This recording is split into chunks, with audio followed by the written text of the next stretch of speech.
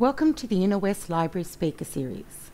Before we begin today, I would like to acknowledge the Gadigal and Wangal people of the Eora Nation on which this podcast is produced and pay my respects to elders past, present, and emerging from across all lands this podcast reaches. The man behind the prize lived a life that was not without tragedy and mystery. Every year, thousands of Sydney Sydneysiders visit the Art Gallery of New South Wales to view the entrance in the Archibald Prize for Portraits, which carries the primary aim to foster portraiture as well as to perpetuate the memory of great Australians. This year marks the 100th anniversary of the Archibald, Australia's premier art prize. Our very own Marrickville Library holds an extensive historic art book collection. Paul Greguric grew up in Adelaide. He studied at the Education Faculty of Sydney University after graduating, he taught English in New South Wales high schools for over two decades. He has published both fiction and non fiction in numerous journals, newspapers, and magazines. He currently lives in the Sydney suburb of Waterloo. Welcome, Paul. Uh, thanks for having me. It's our pleasure. Paul, what was it that inspired you to research the life of J.F. Archibald, the name which is synonymous to the most prestigious portrait prize in Australia? I was I was writing uh, short stories at the State Library of New South Wales, and my routine was to go from where I was living at Museum Lodge to the library in the morning, nine o'clock, and then I'd walk over to the uh, Matthew Talbot hostel for homeless men where, where there was a, a, free lunch in the dining room. And during one of those walks, I just finished the short story called Petrushka, and I wanted to write something that was uh, non fiction. And on my walk across the domain, I saw the art gallery, and there was a banner uh, hanging down the front which said Archibald. I knew about the Archibald Prize, and I thought not many people know about the person, and I certainly didn't when I returned to the library after lunch, I looked for anything about Archibald, and there was only one book that had been written about his life by uh, by Sylvia Lawson back in 1983, called The Archibald Paradox. So I I requested it. I looked at it. I, I didn't sit down and read it uh, because I already had the idea of writing uh, my own bi- biography, and uh, I wanted to leave Sylvia's alone. She also wrote the Archibald uh, entry in the Australian Dictionary of Biography. So there wasn't much else, so I decided to start from scratch. I went to a catalogue card and there was a handwritten note, transcription of Archibald's half sister had written to the Mitchell Library and complained that they were calling him Jules Francois Archibald when in fact his real name was John. Feltham Archibald. And I thought, well, there's a bit of drama to begin. And the next morning I, I began my research. And that's what happened. From a handwritten catalogue entry? Yes.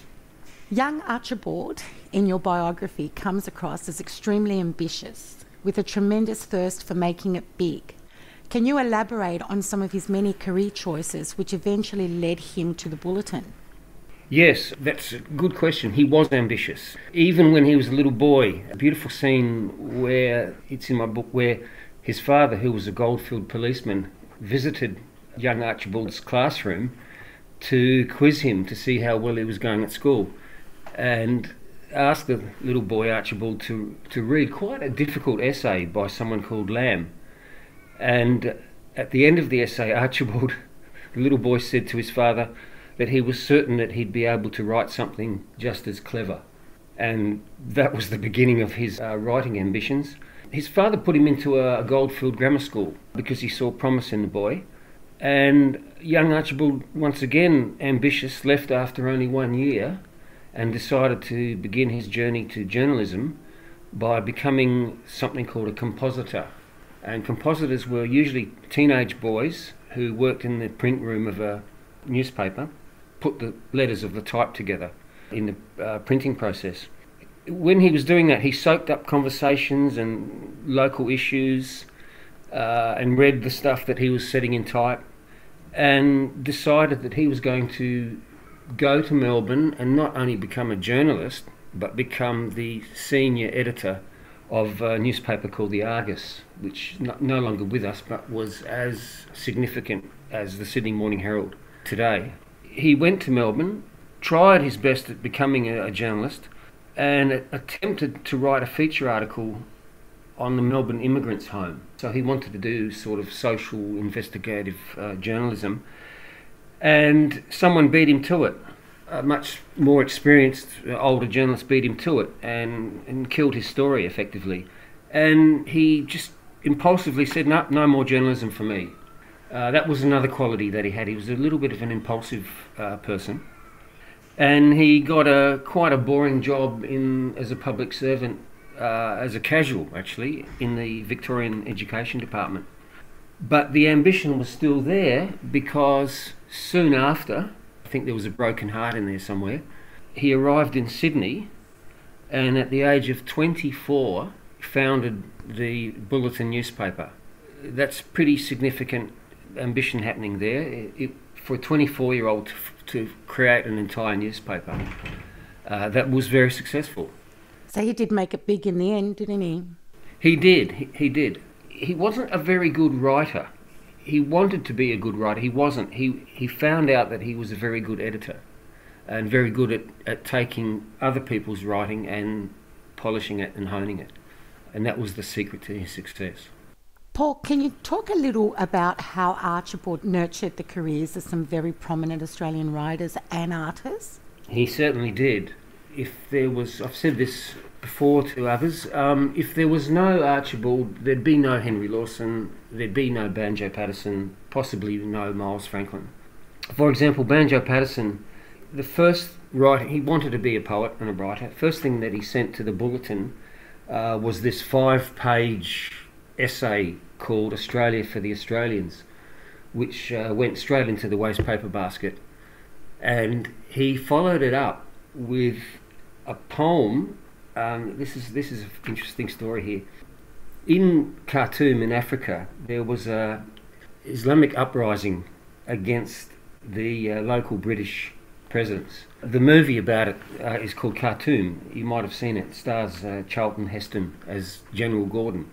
What Paterson did is he he imagined that he was someone called El Mahdi who was fighting the British and he, the poem basically says, "What are you Australians doing over here uh, in my country? You should go home."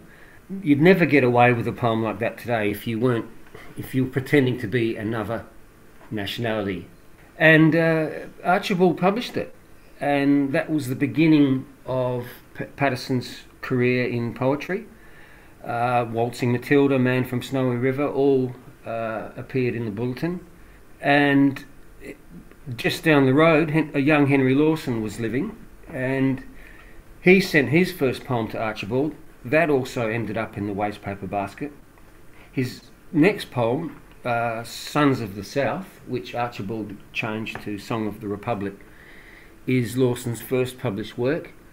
So there's two great Australian poets which began on the pages of the bulletin.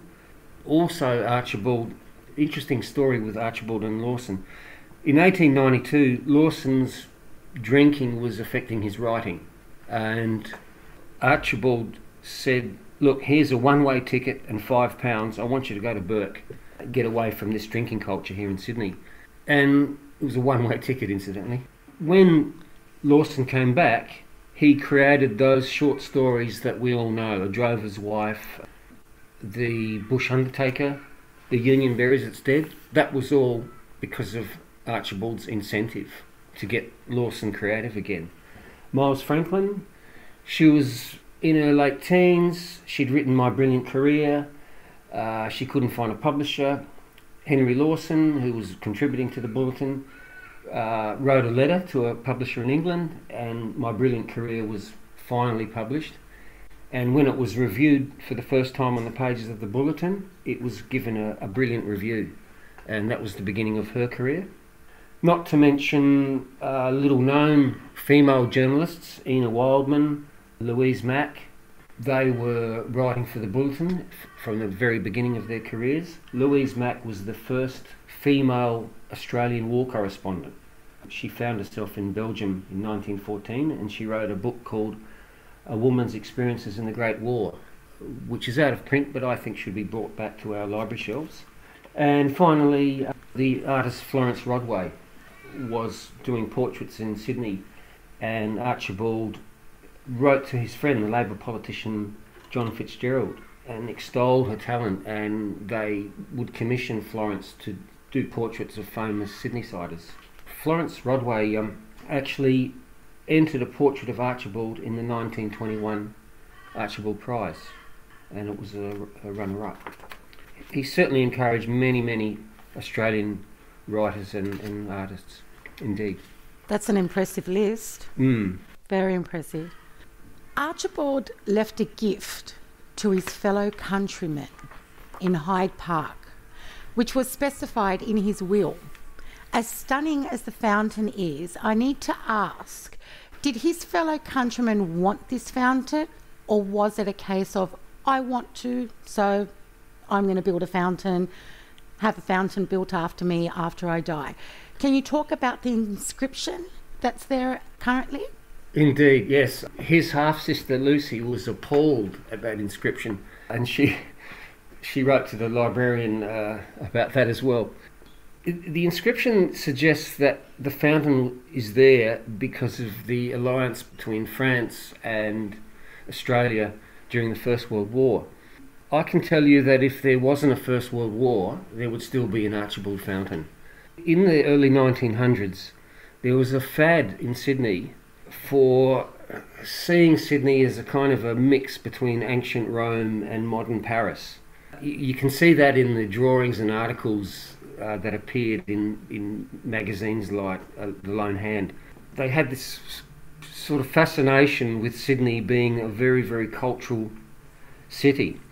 But if you look around Sydney today for beautiful architecture from the early 1900s, you, you can't see it. There's not much of it around, if any. But there's the Archibald Fountain, uh, which is a very beautiful neoclassical monument. And that's because Archibald towards the end of his life, was very, very interested in making Sydney a cultural capital. And that's why he, he put in his will that he wanted a gorgeous fountain uh, in Hyde Park. The inscription to me, the alliance between France and, and Australia, that being a good thing, it seems to me sort of an afterthought. So I, I conclude by saying if there wasn't that alliance, there'd still be an Archibald fountain. So, yeah, good question. And it's a meeting place for so many people too, I believe, when they go down to the city. Yeah, in fact, I, I've met people at, at the Archibald Fountain, um, yes, indeed. But I, I, hope my book brings to light the fact that um, behind the fountain is actually a person's story as well. Yeah, that's right. Well, you've brought this to life in your book, haven't you? Yeah, hopefully, yes. Paul, before we go, could you talk about how the State Library of New South Wales became your second home during the writing of this book? What are your thoughts on the importance of public libraries and how did the library inspire and support your writing process? Uh, yes, I wrote the entire manuscript uh, at the Mitchell Library, the wing of the, of the State Library of New South Wales. I was visiting the Mitchell Library every morning and writing creative fiction it was full of HSC students and university students every day. I, I would work from an area called the Special Collections section. Um, and as I mentioned earlier, I began the whole b- book by looking at uh, a transcription of Lucy Archibald's complaint to the librarian of the Mitchell. There, there's very little information on Archibald on the internet. So most of my research was gleaned from documents in archive boxes in that special collections area. So letters, uh, photographs, and jottings. The the men and women around Archibald would write notes to themselves on documents. The library staff at the Mitchell Library are specialists in various fields, and one particular note to himself that Archibald wrote was actually written in something called Pitman's shorthand. Now, Pitman's shorthand was the, uh, the language used by journalists and secretaries. And if you haven't studied it, you can't decode it. And one of this is just an example of how important the librarians were with this book. one librarian took it upon herself to go away and come back, and she actually deciphered what Archibald had written, and he'd written something about uh, Dame Nellie Melba, which wasn't that flattering, but uh, at least it's actually in the book here. And there was also a, photograph that I discovered of um, Archibald as a toddler sitting on a lap of uh, a lady of the era. And it was one of the librarians who was an expert in 19th century clothing who was able to differentiate between the family members and so could tell me whose lap Archibald was sitting on. So, without library staff and without the archival material, this book could never have been written. Another interesting fact is that I would have read hundreds and hundreds of pages of the bulletin online because they were digitised by the National Library in Canberra. Ironically, I never actually saw an actual copy of the bulletin. And one day I opened up an archival box by one of uh, a collection of, of, documents by one of um, Archibald's colleagues. And there, lo and behold, was an actual uh, bulletin newspaper in its distinctive red paper. The entire bulletin collection is actually hard copy uh, in a bank safe in the basement of the Mitchell Library. But I never, I never got to see it. So, but it's all, it was all there online. Do you think maybe one day you will get to see it? I did when I was writing the book. I, I did ask to have a look, and the librarian sort of was like, "Well, you know, you haven't got the authority yet." But I, I guess I have now, so I will make a visit. Yeah. Yeah, that'll be great. Yeah. So, in conclusion, the Mitchell Library and the staff were absolutely invaluable. Without them, this book would never uh, see the light of day. Thank you, Paul, for your time and for a wonderful chat. We wish you all the best with your biography, The Man Behind the Prize, and with all future publications. Paul's book is available both physical and electronic formats at any of our Inner West libraries, ready for you to borrow or log on to our catalogue and place a reservation at any time. If you would like to purchase Paul's book, please visit your favourite independent bookstore online or in person. Bye everyone, and thank you for listening. And look out for upcoming digital content through the Inner West Library What's On and social media channels.